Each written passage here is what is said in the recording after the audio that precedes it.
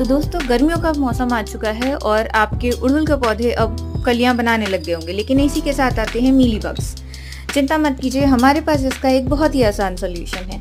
सो आपको घर में पड़ी किसी भी स्प्रे बॉटल को लेना है और आपको चाहिए नीम ऑयल बस एक ढक्कन नीम ऑयल ये आप कहीं से भी अपने पास के नर्सरी से ले सकते हैं। सो इस एक ढक्कन नीम ऑयल को आप डालिए स्प्रे बॉटल में। इसमें आपको मिलाना है दो पंप ऑफ़ लिक्विड सोप